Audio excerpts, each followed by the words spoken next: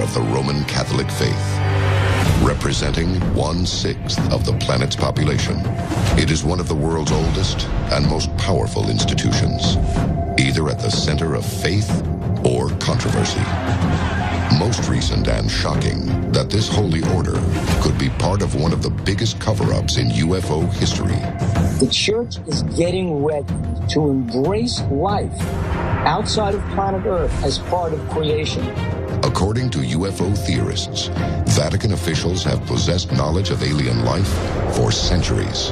A claim so explosive and world-changing that generations of popes and cardinals have categorically denied the accusations. But what if the claims are true? It's believed even to this day that not everything has been revealed.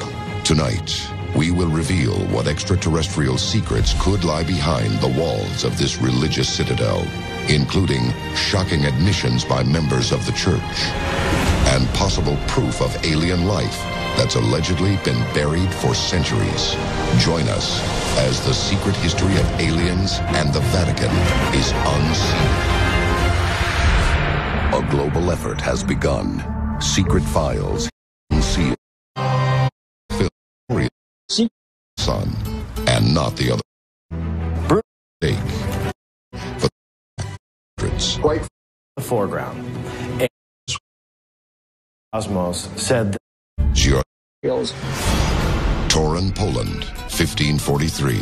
Nicholas Copernicus marks the beginning of modern astronomy, showing that Earth revolves around the sun and not the other way around. Five years later, Giordano Bruno is born in Naples, southern Italy.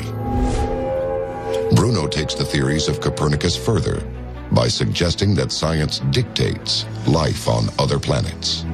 Bruno's theory about the cosmos said that the people of Earth were not the only people in our universe. That didn't sit too well with the church. In 1600, Bruno is found guilty of heresy and burned at the stake. He is the first person in history to be executed by the Catholic Church for beliefs that include the possibility of extraterrestrials.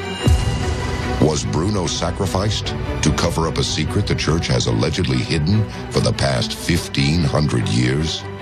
That church believed that we as humans, God made us the center of everything and we were just kind of the be all and end all. But the reality was it was much bigger. There was much more out there. In fact, possible ties between the Catholic faith and alien forms are nearly as old as the religion itself.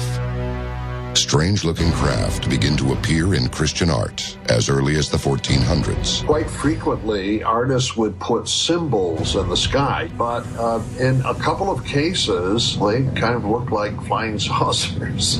One painting, the Madonna with San Giovannino, depicts the Lady Madonna in the foreground and San Giovannino in the background pointing up to the sky. And he sees a craft that is clearly visible in the painting. In the Middle Ages and through the Renaissance, they would take events from the present and depict them in the paintings. These were real things that people saw in the sky. In The Miracle of the Snow, you have a painting of Jesus and Mary above, and below it appears to be a what could be described as a fleet of UFOs or flying saucers directly below them. The Baptism of Christ, painted in 1710, shows what looks like a flying saucer beaming down toward Jesus. The Crucifixion features a pair of what look like UFOs. Are the objects captured in these works of art records of religious devotion or evidence of the church's connection to spacecraft and perhaps even creatures from another world? Now, I'm sorry, that's not a winged angel or a depiction of God. What was that 500 years ago? We don't know. The discs, seen throughout the history of Christian art, are an identical match to recordings and reports of modern-day UFOs. Were these artists adding images they had seen or heard about from eyewitnesses?